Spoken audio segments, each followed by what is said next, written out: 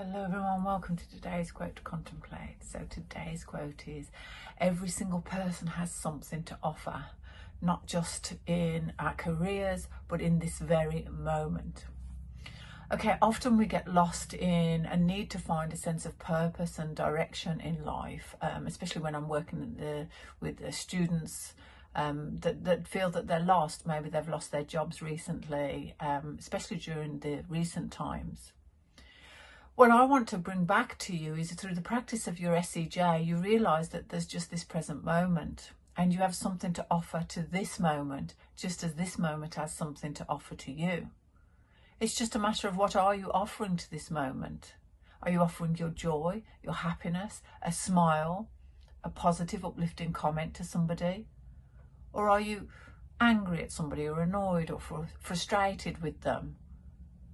What are you bringing to this moment?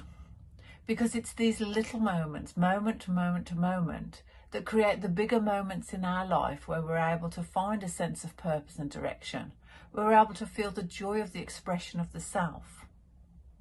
So today I'm simply wishing you the reminder that in this moment you have something to offer. Don't necessarily focus on the big life career that you want to feel that you have a sense of purpose and direction. Just concentrate on this now moment. You'll soon find that life will open up for you. Wishing you a wonderful day. Bye for now.